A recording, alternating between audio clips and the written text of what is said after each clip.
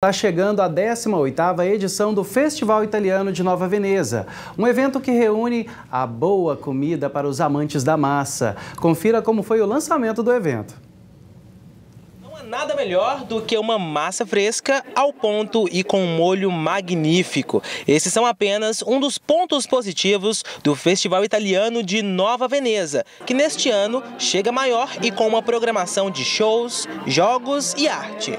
Durante os dias 6 e 9 de junho, os visitantes poderão aproveitar 30 estandes que oferecerão pratos italianos, além de outros 30 com muito artesanato. Esse ano nós estamos com mais de 60 espaços que vai ser servido em comida, né, alimentação, bebidas, adegas, doceterias e 30 espaços de artesãos, que a cada ano a gente melhora mais, que a gente está focando em dar oportunidade ao morador do município.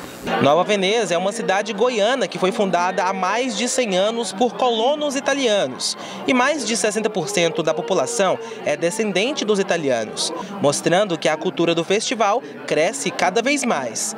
Desde o início do ano a gente já começa a preparar praticamente toda a cidade para, para preparar para receber as pessoas nesse festival gastronômico. Então, é, para o nosso município é o 14º salário todas, começar do vigia, do posto, do pesque pague, do, do, do, do, de todas as, as classes sociais lá são beneficiadas com esse festival. E a gente prepara muitos meses antes para poder atender bem a população que vai nos visitar.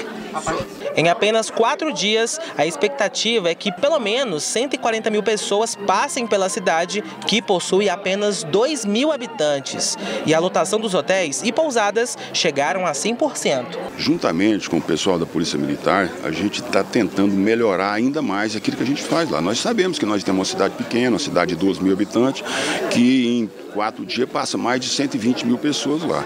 Então a gente está tentando, é, é, juntamente com o pessoal é, é, da cidade, é, juntamente com o pessoal da Polícia Militar, a gente melhorar ainda mais o nosso atendimento.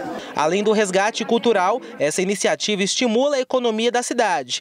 A entrada é gratuita, sendo uma ótima oportunidade de experimentar da culinária e cultura italiana. A expectativa de público, todos os anos, a gente supera. A expectativa para esse ano é mais de 120 mil visitantes, porque é um público rotativo. Né? A cidade é pequena, acolhedora, porém é um público rotativo, a gente comporta muito bem. E isso faz rodar, melhorar bastante o comércio no município. E ali é, é um momento atípico para nós.